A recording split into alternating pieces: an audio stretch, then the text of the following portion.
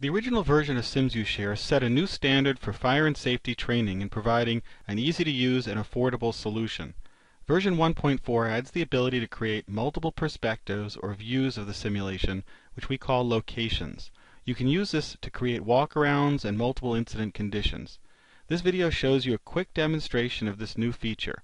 Other videos will show you the details and how to create and use this new feature. Using the walkaround capability, you can link your various locations together with navigational arrows. So I can simulate walking around a building like this, or even into a building like this. And really you have the choice of where those arrows go. So you could also make different conditions. For example, arrival might look like this.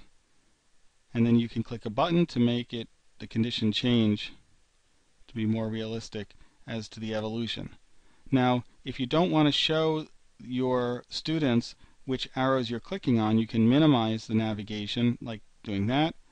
And now you can actually use keystrokes to simulate the button presses to do your navigation.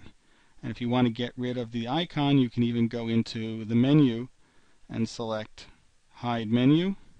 The icon disappears completely.